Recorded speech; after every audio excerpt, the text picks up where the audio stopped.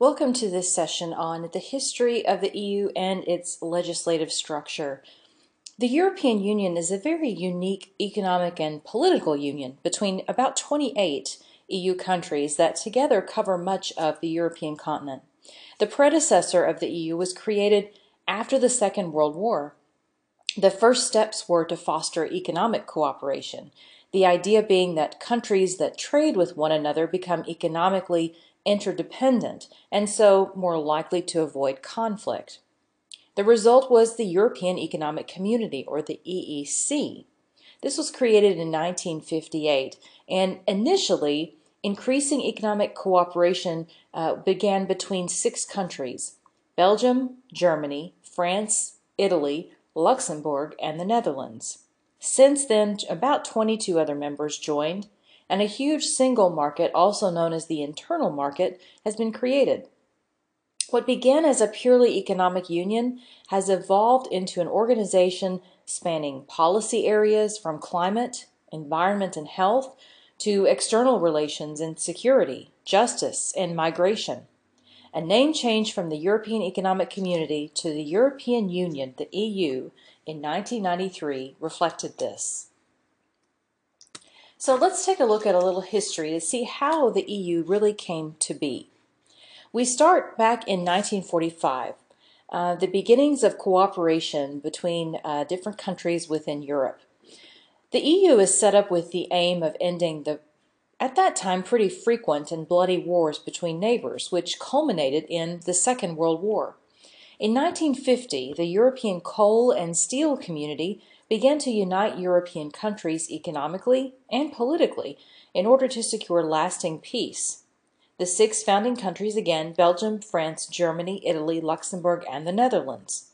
In the 1950s, there, the area was kind of dominated by a Cold War between East and West. Protests in Hungary against the communist regime are put down by Soviet tanks in 1956. In 1957, the Treaty of Rome creates the European Economic Community, the EEC, also known as the Common Market. From 1960 to 1969, Europe saw a period of economic growth. The 1960s was a good period for the economy, helped by the fact that EU countries stopped charging custom duties when they traded with each other.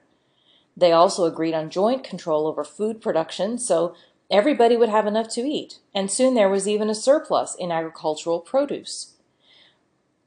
1968 pretty much became famous for student riots in Paris, and many changes in society and behavior became associated with the so-called 68 generation in Europe. From 1970 to 1979, again the community in Europe was growing, and it's known as what we call the First Enlargement. Denmark, Ireland, and the United Kingdom joined the European Union on January 1st of 1973, raising the number of member states to nine. The short yet brutal Arab-Israeli War of October 1973 resulted in an energy crisis and economic problems for Europe.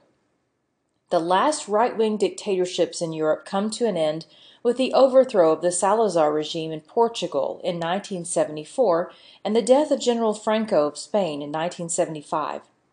The EU regional policy starts to transfer huge sums of money to create jobs and infrastructure in poorer areas. The European Parliament increases its influence in EU affairs, and in 1979 all citizens can, for the first time, elect their members directly. The fight against pollution intensifies in the 1970s. The EU adopts laws to protect the environment, including the notion of the polluter pays for the first time. 1980 to 1989 saw a changing face of Europe, especially with the fall of the Berlin Wall. The Polish Solidarity movement and its leader Lech Walesa became household names across Europe and the world following some shipyard strikes in the summer of 1980. In 1981, Greece becomes the 10th member of the EU, and Spain and Portugal follow ten, five years later. In 1986, the Single European Act is signed. This is a treaty which provides the basis for a vast six-year program aimed at sorting out the problems with the free flow of trade across EU borders and thus creates the single market. There's major political upheaval when, on the 9th of November 1989, the Berlin Wall is pulled down and the border between East and West Germany is opened for the first time in 28 years. This leads to the reunification of Germany when both East and West are united in October of 1990. With the collapse of communism across Central and Eastern Europe, Europeans become closer neighbors. In 1993, the single market is completed with the four freedoms the freedom of goods, movement of goods, services, people, and money.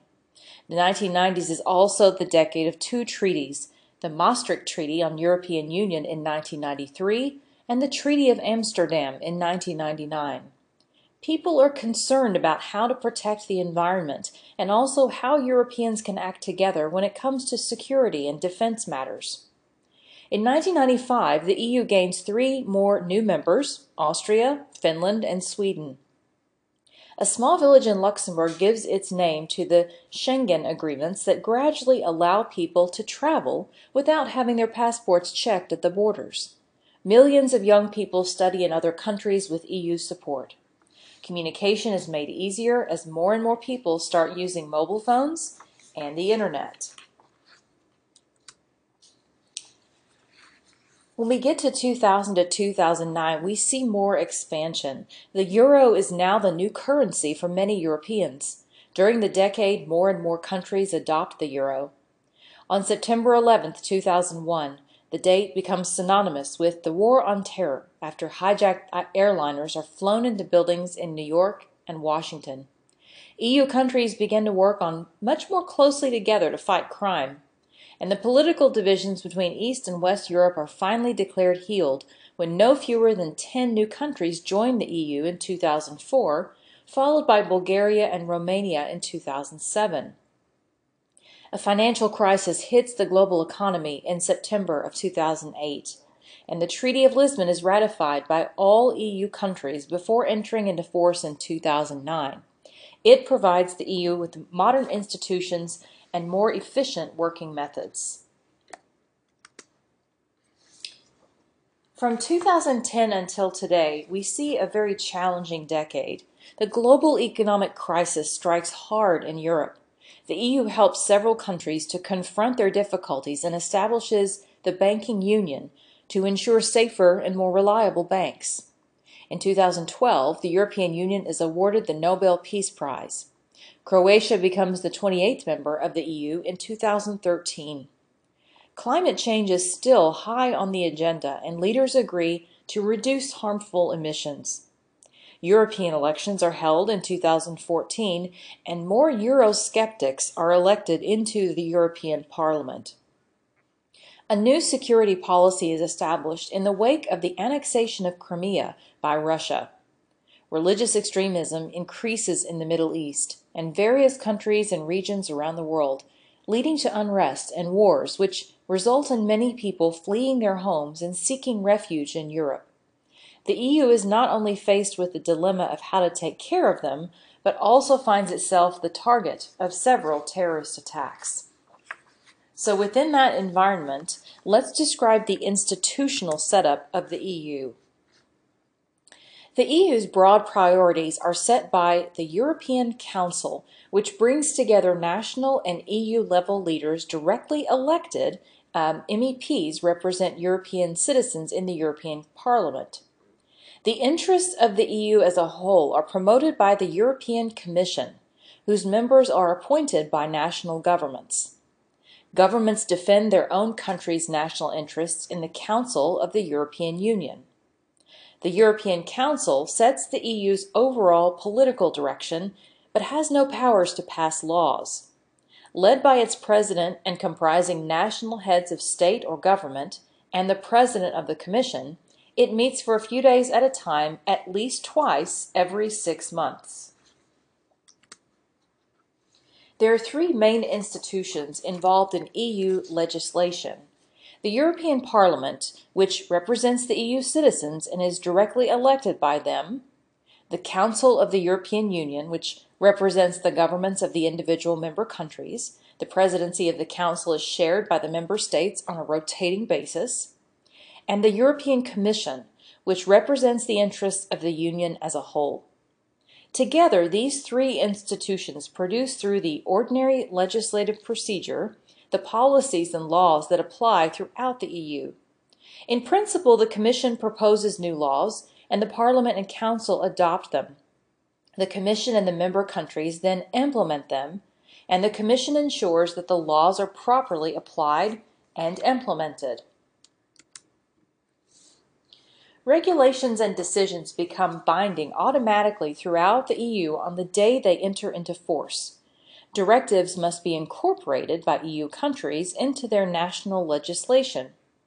If national authorities fail to properly implement EU laws, the Commission can launch a formal infringement procedure against the country in question. If the issue is still not settled, the Commission may eventually refer the case to the European Court of Justice. Speaking of courts, in most member states there are three different branches of courts. Generally those courts can be identified as these ordinary courts, specialized courts, and courts dealing with constitutional matters.